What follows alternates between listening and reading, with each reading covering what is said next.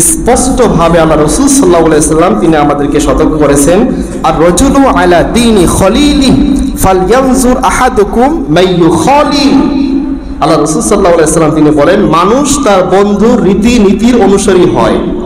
কাজী সেজন্য লক্ষ্য করে যে সে কার সাথে বন্ধুত্ব করে। বলুন না সুবহান আল্লাহ আল্লাহ রসুল সাল্লাম তিনি স্পষ্টভাবে তিনি বলেছেন যে, মানুষ বন্ধুর রীতিনীতির অনুসারী হয় কাজী ওই ব্যক্তি, ওই মানুষটা কার সাথে বন্ধুত্ব করে, কাকে ভালোবাসে, কাকে মহব্বত করে? একটু ভালো করে যেন সেই ব্যক্তি যেন খেয়াল করে। এখন আমরা কার সাথে আমরা বন্ধুত্ব করব, কাকে আমরা মোহাব্বত করব? যদি আমাদের, আমরা একটু গভীরভাবে লক্ষ্য করি, তাহলে দেখা যায় আজকে আমরা মুসলমান। কিন্তু মুসলমান হওয়া সত্ত্বেও আমাদের ভিতরে আল্লাহ রসুল সাল্লাহ সাল্লামের সুন্নত এটা পরিপূর্ণভাবে না থাকার কারণে আজকে আমরা বন্ধুরূপে অনেক মানুষ গ্রহণ করে থাকি ব্রাজিল, আর্জেন্টিনাকে। ঠিক কিনা বলেন? এই যে দেখেন, এটা মোহাব্বত, ভালোবাসা। তাদেরকে মোহাব্বত করে, এর প্রমাণ কি? দেখবেন, অনেক বাসায় বাসায়, বাসার ছাদে ব্রাজিল, আর্জেন্টিনা তাদের পতাকা দেখতে পাওয়া যায়। ঠিক কিনা বলেন? এই যে বিশ্বকাপ ফুটবল খেলা যে চলে আসে আফসোস করে বলতে হয়, আজকে আমরা মুসলমান, আমরা কোন পথে আমরা চলে যাচ্ছি? এই যে আজকে আমরা যাদেরকে বন্ধুরূপে আজকে আমরা গ্রহণ করতেছি, তাদেরকে যদি আমরা অনুসরণ করি, তাদের সাথে যদি আমরা মহাব্বত করি, তাহলে আমাদের অবস্থাটা কোথায় চলে যাবে? একটু তো আমাদের খেয়াল করতে হবে, আমাদের বিবেকে বিষয়টা রাখতে হবে। আল্লাহ রসুল সাল্লাহ সাল্লাম তিনি কেন আমাদেরকে সতর্ক করেছেন? আজকে আল্লাহর জমিনে মুসলমানের শত্রু ডানে বামে, সামনে পিছনে, উপরে নিচে, সব জায়গায় মুসলমানের শত্রু।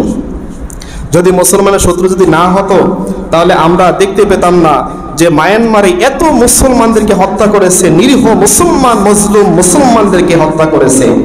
শুধু তাই নয়, বাগদাদে গাউসুফাক আব্দুল কাদের জেনালি রহমতুল্লাহ আলাই পুণ্যভূমি বাগদাদে কুখ্যাত খুনি ঘুষ প্রায় আঠারো লক্ষ মুসলমানদেরকে হত্যা করেছে। কি মুসলমানদের কি অন্যায় ছিল এদের?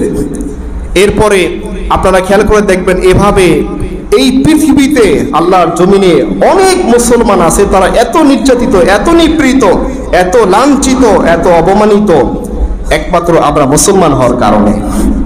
এখন, অথচ তারা আমাদের সদা সর্বদা আমাদের ক্ষতি চাচ্ছে, কেউ আমাদের ভালো চায় না। অমুসলিম যারা আছে, ইহুদি, নাসারা, ওরা কিন্তু অনেক আগে থেকে ওরা আমাদের চিরশত্রু। এতে কোনো কোনো সন্দেহ নেই। অথচ যারা শত্রু, যারা আমাদেরকে যারা আমাদেরকে বিভিন্নভাবে অপমানিত করার জন্য, আমাদেরকে লাঞ্ছিত করার জন্য, আমাদেরকে হত্যা করার জন্য তারা সদা সর্বদা তারা প্রস্তুত। আপনারা শুনতে পান যে প্রায় সময় দেখা যায় আমাদের প্রিয় পবিত্র ভূমি, মসজিদুল আকসা। মসজিদুল আকসায় তারা প্রায় সময় পাখির মতো গুলি করে নিরীহ মুসলমানদেরকে নামাজরত অবস্থায় তারা পাখির মতো গুলি করে হত্যা করে। ঠিক কিনা বলেন? এটা প্রায় সময় তো দেখতে পাওয়া যায়। তাহলে আপনারা বলেন, সেই ইহুদি, নাসারা খ্রিস্টান, ওরা কি আমাদের মুসলমান নাকি ওরা আমাদের শত্রু? সকলে বলেন তো। ওরা আমাদের শত্রু। আজকে আফসুস করে বলতে হয়, আজকে আমরা বন্ধুরূপে আমরা গ্রহণ করতেছি কাকে? ব্রাজিল, আর্জেন্টিনা, ওরা তো ইহুদিদের মতোই। এদেরকে আমরা মহাব্বত করি। এদেরকে আমরা মহাব্বত করার কারণে এদের পতাকা আমরা আজকে আমরা উড়োচ্ছি।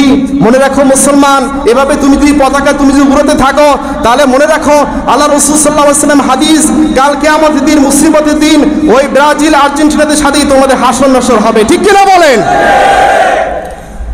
তাদের সাথেই হাসন নাসর হবে, এটাই আল্লাহ রসুল হাদিস।